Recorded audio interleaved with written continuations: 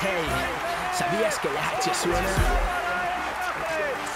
Muchas gracias. Eh, necesito decir algo antes de hablar del partido, porque como padre que le hablen a uno de su hija como me han hablado a mí desde que he pisado este pabellón, todas las personas que se han ido acercando para hablarme de Celia, de Celia, de Celia, pues solo puedo agradecerlo, ¿no? Porque, bueno, que te hablen de la Celia jugadora, pues bueno, está bien, mete canastas, está muy bien, pero que te hablen también de la Celia persona, pues no puedo por menos que agradecerlo y que te emociona y te llena de orgullo, ¿no? Antes que entrenador y antes que cualquier otra cosa, soy padre y evidentemente es algo muy, muy bonito y muy emotivo.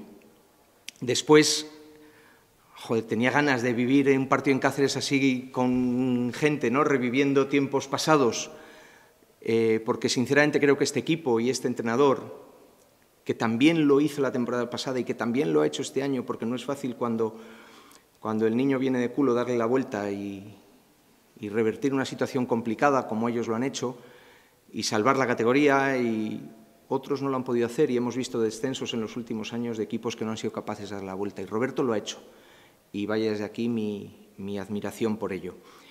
Y después mi máximo respeto por el partido que ha hecho hoy Cáceres. Muchos pensaban, están de vacaciones. Eh, bueno, pues quien más, quien menos, esta semana ha sido una semana ya sin tensión. Mm, no hay nada mejor para un jugador que jugar sin tensión. El tirar sin miedo a fallar, porque eso implica que, bueno, pues tienes un mayor porcentaje y una mayor capacidad de acertar, ¿no? cuando la mano se arruga en los momentos importantes.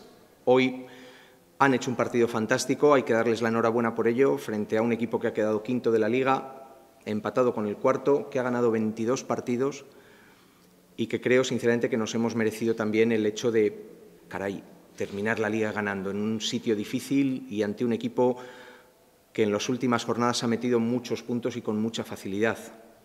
Tengo en la retina el partido contra Coruña, y evidentemente no podíamos irnos a un partido de noventa y tantos puntos porque ahí hubiéramos perdido. ¿no?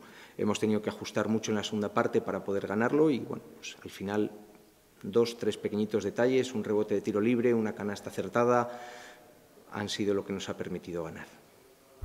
El que Cáceres quiere baloncesto. Unidos son.